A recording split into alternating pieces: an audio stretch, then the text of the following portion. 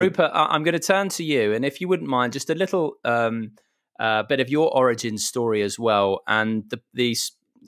Feel free to ignore me, but the the thing that always sticks in my mind was the comment I think you made to your mother as a boy that uh, you believed we were a dream in God's infinite mind, and here we are, however many years later. I wouldn't want to speculate, and you now are pretty sure of that fact.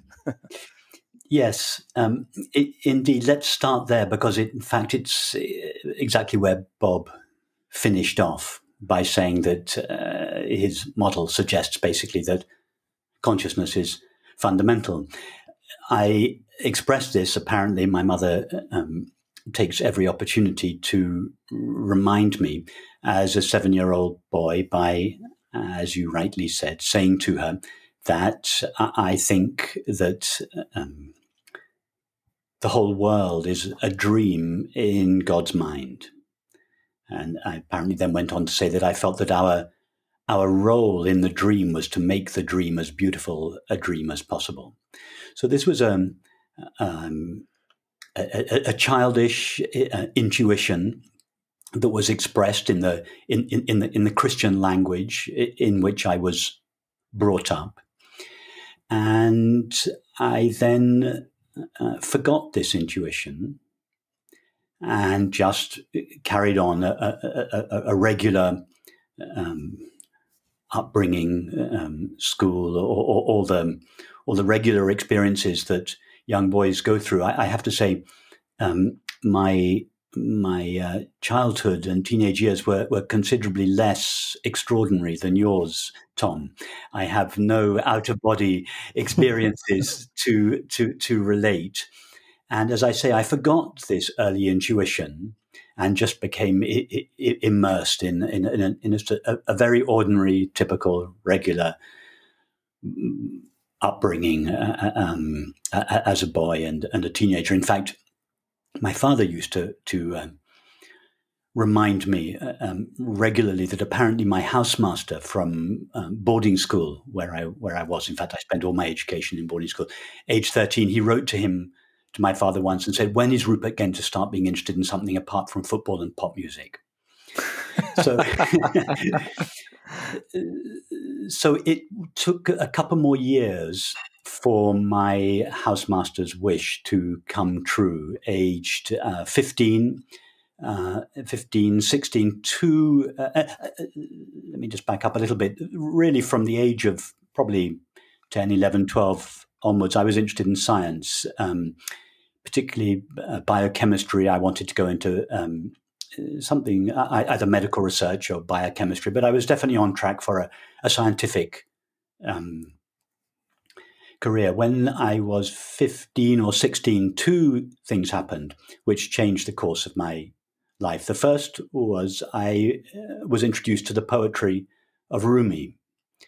Uh, now, of course, Rumi is well known by, by millions of, of people and we're uh, accustomed to the beautiful translations of, of or, or, perhaps I should say renderings of Coleman Barks and, and, and others who have really translated his poetry in, into contemporary language. In those days, they, they were the translations were, were much drier uh, and more erudite. Arberry and Nicholson uh, made translations of the Mathnavi and Rumi's poetry. So th- these were the, the translations I had and loved them very much. And Rumi's poetry, I, I think, reawakened in me this early intuition that I had had as a young child that that that what we know of as, as, as the universe is uh, God's uh, or a, a, dream in God's infinite mind, and that we are characters in that dream.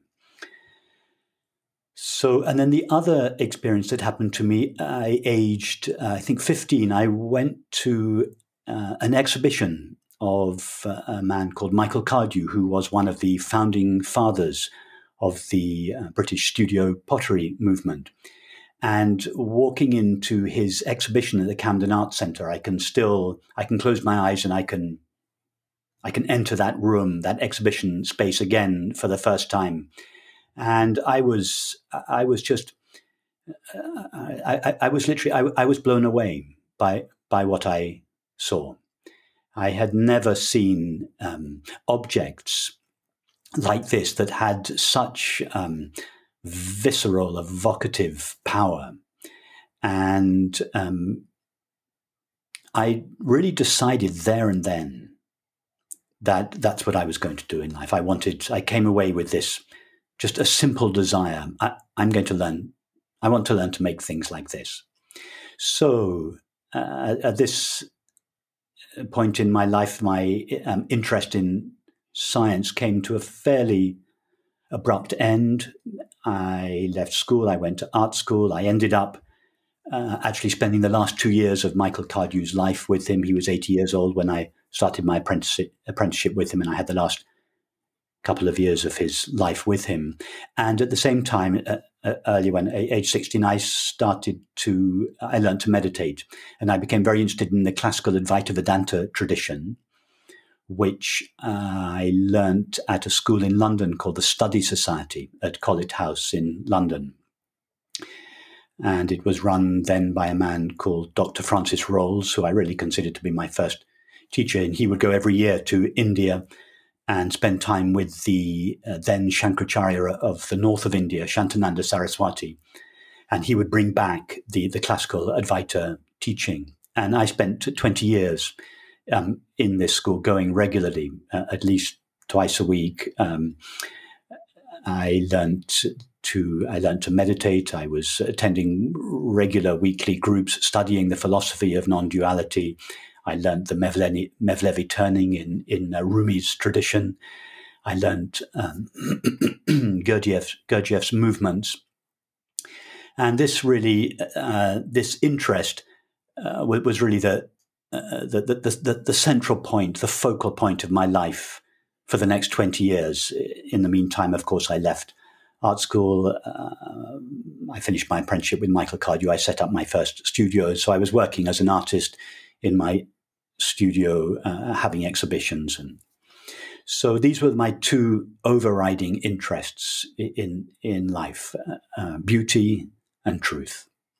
My interest for beauty was satisfied in my studio and my um, interest in truth was satisfied uh, by um, my study of the Advaita tradition, as I say, through the classical Advaita teachings, but also through my study of uh, uh, Ramana Maharshi and Nisargadatta's teachings, which you will be uh, very familiar with.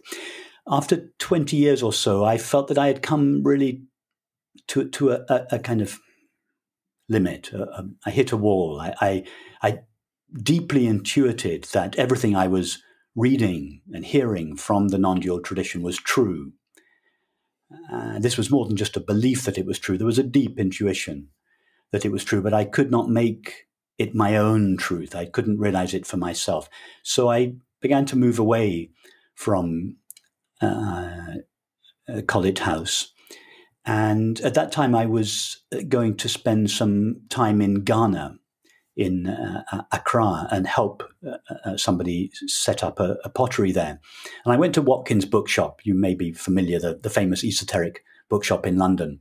Just before my trip to to Ghana, I wanted something to read, and I picked up a magazine off the uh, off the magazine rack. It was called Self Inquiry, uh, produced by the Ramana Maharshi Foundation, which I had never heard of. Anyway, I put the put the magazine in my bag, went off to to uh, Ghana, staying in this little hotel on the outskirts of Accra. And um, one evening I opened this magazine and I came across an article called Return the Eye to the Source by a man called Robert Adams, who I hadn't heard of.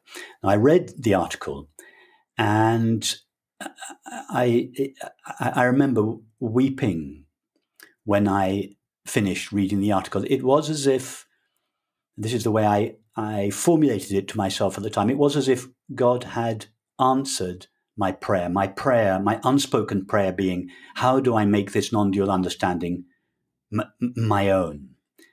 And this, this article was, was written not just as a general response to my question, it was like tailor made for me. So I thought, okay, as soon as I get back from Accra, I'm going to go and see this man, Robert Adams. Fast forward six months.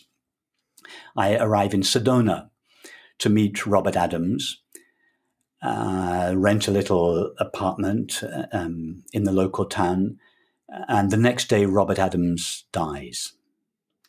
So I spend uh, that evening with a small group of his students in his room with his body dead on, on, on the bed, covered in flowers, and all his students singing songs. And so I'm very puzzled by this, and, and not to mention profoundly disappointed because I felt that that this man was going to, uh, this article had had such a profound effect on me. I was, uh, to say that I was looking forward to meeting him was um, would be an understatement. Anyway, on the last day of my trip, there somebody gave me a leaflet and said, "Here, read this on your way home." Put it in my bag. Didn't think anything of it. Fast forward a couple of months, I then made contact with the Ramana Maharshi Foundation, Jane and Alan, who wrote the um, who write the uh, used to write the, ma- the magazine. I invited them down for a weekend to where I now lived in had my studio in Shropshire, and they said, "Oh, we we want to give a um, we want to hold a retreat somewhere in England for a man named Francis Lucille." And I thought, "Oh, that's that's funny, isn't he? Wasn't he the guy on the on on the leaflet that that person gave me on the last day in Sedona?" So I went had a look at the um, the article, l- looked it up, and sure enough, it was a it was a a, a, a short dialogue from Francis Lucille, and I had I had liked it very much. I remember it was a, a, a, response of his in answer to the question, "What can we expect from our meet from these meetings?" And so, quite spontaneously, I said to Jane and, and Alan, "Oh, well, why don't you ask him to come and do the retreat here? We've got plenty of space. We'll clear out my studios and the gallery space in the barns, and we, we can put people up." Fast forward four or five more months, Francis turns up at my home. I've never we've never met each other. Uh, I sit we, we sit down. The first words he say are meditation is a universal yes saying to everything. And at that moment, I feel this shiver running up my spine. And I realize this was why I went to Sedona. I've finally met the, the, the teacher that will enable me to make this non dual understanding my own. So after that meeting, I had a conversation with Francis, told him this story. And I said, What do I do now? And he said, just come as often as you can and as often as you want. He happens happened to live in uh, Southern California then. So, in spite of the fact that I had a young child and I was leading a pretty full, active life as an artist, I went several times a year for, to, to week long retreats with him and spent as much time as I possibly could over the next 13 or so years with him. Initially asking a lot of questions, but the questions in time died down. And uh, over this period of time, I can't say exactly how and I can't say exactly when, everything that I had read about and heard in the classical Advaita tradition and everything that I had so deeply intuited was true began to become my own lived and felt experience. One last uh, part of this story, Simon, because I can see you're you're getting twitching, twitching. you're twitching. you're going to have to stop uh, stop commenting on it, gentlemen. Soon. Uh, anyway, okay, all right. Fast forward again. Uh, so now this is um, after 13 or so years with Francis. I'm on a train uh, to uh, the opening of one of my exhibitions in Edinburgh, and I start just spontaneously writing, just for the joy of it, on my laptop on the train on, on the way up. Uh, this uh, this essay develops into a series of essays which uh, Non-Duality Press uh, then publishes my first book, The Transparency of Things. Um, as a result of which, I began to receive invitations to to speak around the world in America and Europe, and then gradually over the last over the next few years, these invitations began to increase so much so that at some stage I had no longer had time for both activities my, my work as an artist in my studio and this new life writing and speaking about non dual matters. And I never really made a conscious decision, but gradually my life just went more and more in the in the way of uh, writing and speaking about these matters, which is how I find myself today.